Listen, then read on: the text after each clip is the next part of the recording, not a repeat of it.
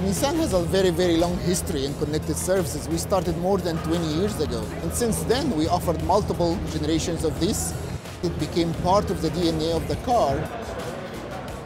We have a special focus on the user, and we look at what the user wants to do. For example, in the electric mobility domain, how do you plan your route based on your power consumption in the car?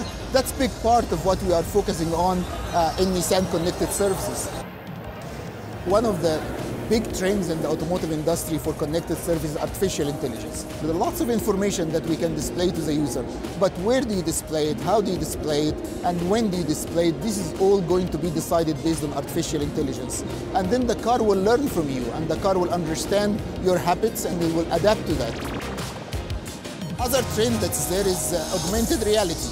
And we showed that already at CES last year uh, with the concept we showed from invisible to visible. And this is how we use augmented reality to provide the customer and the driver with, a, with an easy way to navigate as they are driving uh, on their daily, daily commute. So that's a very important trend also that we see coming very quickly. The last trend I want to talk about it is the infusion of the experience outside the car and inside the car.